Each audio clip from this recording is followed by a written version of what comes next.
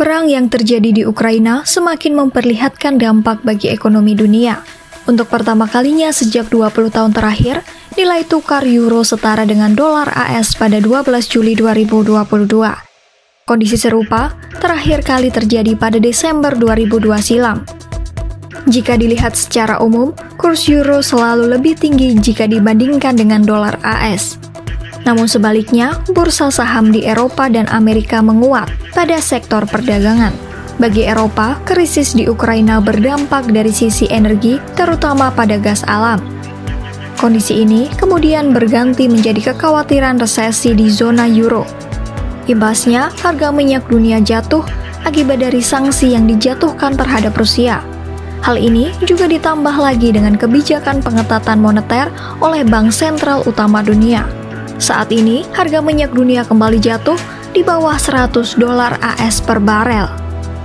Fiona Sinkota dari City Index mengatakan, situasi perekonomian menjadi lebih buruk di Eropa ketika ekonomi di Jerman jatuh ke level terendah dalam satu dekade terakhir.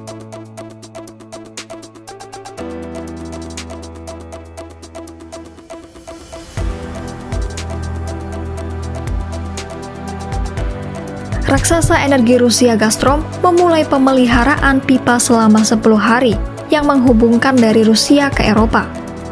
Pemeliharaan ini dipantau oleh negara-negara Eropa terutama Jerman yang sangat bergantung pada pasokan gas Rusia.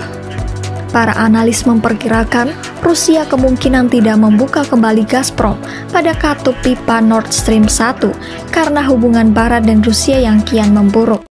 Amerika Serikat pekan lalu disarankan untuk mengatasi gejolak ekonomi saat ini menggunakan kebijakan suku bunga The Fed yang lebih tinggi. Masalahnya, menaikkan kembali suku bunga acuan akan berpeluang memberi bank sentral ruang untuk melanjutkan pengetatan moneter. Bila terjadi pengetatan lanjutan, kontraksi ekonomi pun dipastikan bisa terjadi. Sebelum permasalahan ini, kenaikan agresif suku bunga acuan The Fed telah memberikan tekanan terhadap euro. Diketahui, dolar AS telah melonjak lebih dari 14% terhadap euro sejak awal tahun ini. Bank sentral diketahui telah meningkatkan biaya pinjaman dalam upaya untuk menekan laju inflasi yang telah didorong oleh melonjaknya harga energi. Harga minyak dan gas yang terus mengalami kenaikan adalah dampak dari COVID-19 dan disusul oleh perang Ukraina-Rusia.